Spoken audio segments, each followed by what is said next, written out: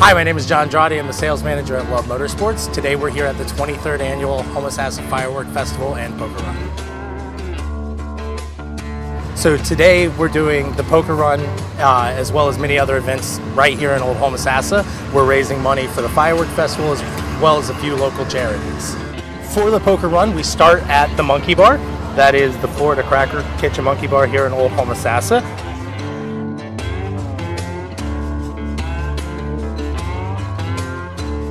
Uh, we have a pizza eating contest right here at the Monkey Bar. Locally made pizzas right here at the Florida Cracker. They're all provided here. Should be a great event. But you know, if you're playing that one, you might want to save room because we got two other eating contests as well. Mom, go faster.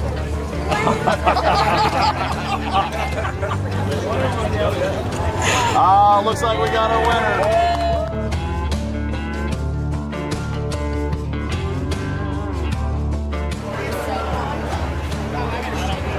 We have the always popular tug of war at the Freezer.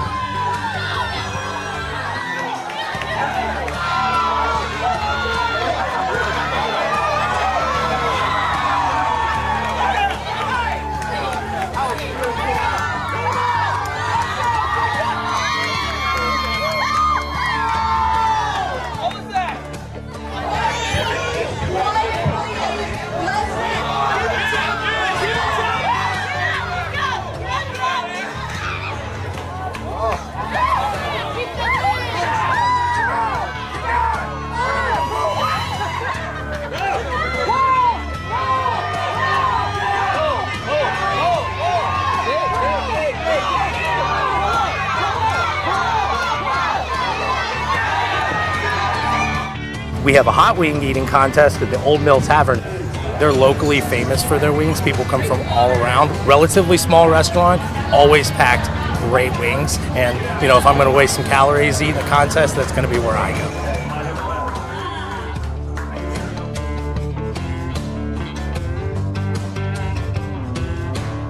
And so the pie eating contest at McRae's is pretty cool. The local Winn-Dixie actually supplied the pies for this event, and you know it's right where the poker run ends. So if you spend a long day out on the water and you need to get a little bit of carbohydrates in at the end, it's a good way to do it.